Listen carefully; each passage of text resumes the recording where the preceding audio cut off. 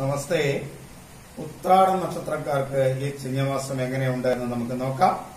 ആയിരത്തി ഒരുന്നൂറ്റി തൊണ്ണൂറ്റിയാറ് ചിങ്ങമാസം എന്ന് പറയുന്നത് രണ്ടായിരത്തി ഇരുപത് ഓഗസ്റ്റ് പതിനേഴ് മുതൽ സെപ്റ്റംബർ പതിനാറ് വരെയുള്ള തീയതിയാണ്.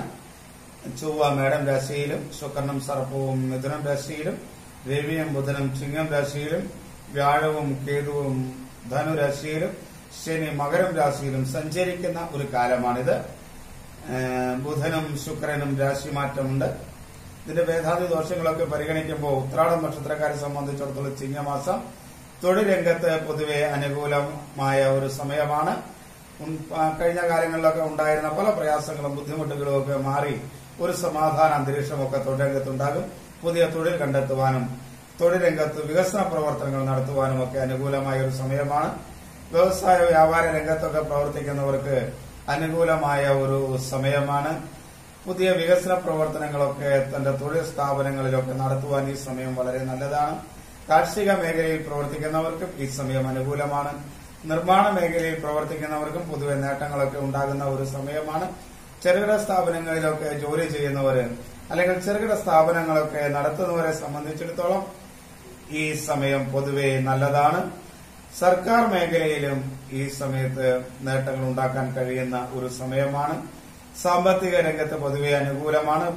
പലരിൽ നിന്നുമൊക്കെ സഹായങ്ങൾ ലഭിക്കാം എന്ന് വാക്ക് കിട്ടിയിട്ടുണ്ടെങ്കിൽ അതൊക്കെ ലഭിക്കുന്ന ഒരു സമയമാണ്. അതേപോലെ സർക്കാർ സഹായമൊക്കെ കിട്ടും. ബാങ്ക് ലോണൊക്കെ അപ്ലൈ ചെയ്തിട്ടുള്ളവർക്ക് അതെല്ലാം പാസ്സായി കിട്ടുന്ന ഒരു സാഹചര്യമുണ്ട്. കടങ്ങൾ ഒരു പരിധി വരെയൊക്കെ വളരെയധികം ശ്രദ്ധിക്കുന്നുവെങ്കിൽ കുറച്ചുകൊണ്ട് വരുവാൻ ഈ സമയത്ത് കഴിയും. ആരോഗ്യരംഗം പൊതുവെ വലിയ കുഴപ്പമില്ലാതെ മുന്നോട്ട് പോകും. ജീവിത പങ്കാളിയുമായി പൊതുവെ സമാധാനപരമായ ജീവിതം നയിക്കാൻ കഴിയും. പല പ്രശ്നങ്ങളും രമ്യതയിൽ തീരുകയും ചെയ്യും. കുടുംബത്തിൽ പൊതുവെ ഒരു സമാധാന അന്തരീക്ഷമൊക്കെ ഉണ്ടാകും. സന്താനങ്ങളുമായൊക്കെ സമാധാനവും സന്തോഷവും ഒക്കെ ഉണ്ടാകും. പലവിധ സഹായങ്ങളും ആദരവും ഒക്കെ മക്കളിൽ നിന്ന് ലഭിക്കുന്നതിനും ഈ സമയം അനുകൂലമാണ്. മാതാപിതാക്കളിൽ നിന്നാണെങ്കിലും സാമ്പത്തിക സഹായം ലഭിക്കും. പൂർവിക സ്വത്തുക്കളൊക്കെ കൈവശം വന്നു ചേരാനുള്ള സാധ്യത അവർക്കുണ്ട്. പലവിധ സഹായങ്ങൾ പലവിധ സഹായങ്ങളും ഒക്കെ മാതാപിതാക്കളിൽ നിന്നുണ്ടാകുകയും ചെയ്യും.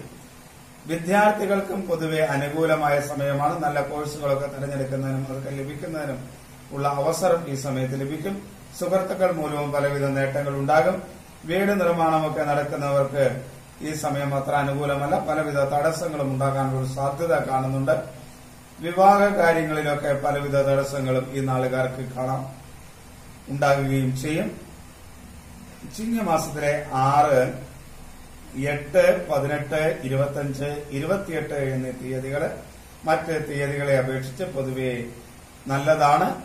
ഇത് ആരുടെയും ജാതക ഫലമല്ല നക്ഷത്രത്തെ ആസ്പദമാക്കിയുള്ള ഫലങ്ങളാണെന്ന് അറിഞ്ഞു വേണം ഇതിനെ സമീപിക്കുവാൻ.